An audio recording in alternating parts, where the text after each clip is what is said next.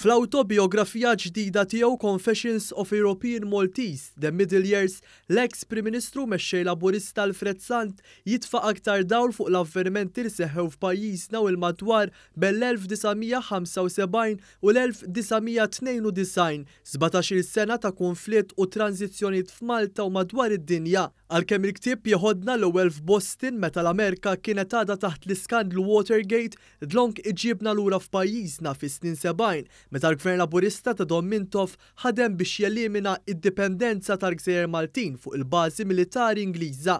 Il-ktieb isemmi wkoll id-delitt ta' Karen Gregg fl-1977, bomba li ntbagħtet lil missierha, u dak ta' Raymond Caruana fl-1986 fil-Każin Nazzjonalista tal-Gudja. Doctor Sant jitkellem ukoll kif dawn kienu snin ta' bidliet kbar fl-ekonomija, fl-edukazzjoni u anke fil-politika.